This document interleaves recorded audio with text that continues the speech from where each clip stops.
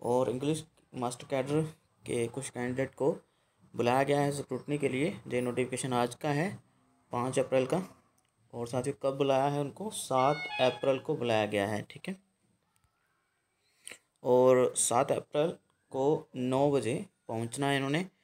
और स्क्रूटनी पर जाने से पहले जो लोग अपना डॉक्यूमेंट जो हैं, जो भी इस वैकेंसी के लिए हैं डॉक्यूमेंट ये वाले, ठीक है?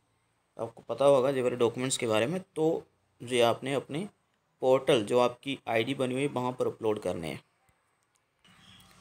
और जिन कैंडिडेट को बुलाया गया है, उनकी सूची ये रही। एक सौ चौबीस अंक वालों को ही बुलाया गया है। सभी के, सभी जिन, जिनके अंक एक सौ चौबीस हैं, उनको जहाँ पर बुलाया गया है, और उनका सिलेक्शन उम्र अर्थात एज के अकॉर्डिंग होगा। ठीक है, जिसकी एज ज़्यादा होगी, जितनी सीट्स बाकी होंगी, शेष बची होंगी, उनका सिलेक्शन हो जाएगा उसके अकॉर्डिंग ठीक है साथी तो ये रही लिस्ट तो थैंक यू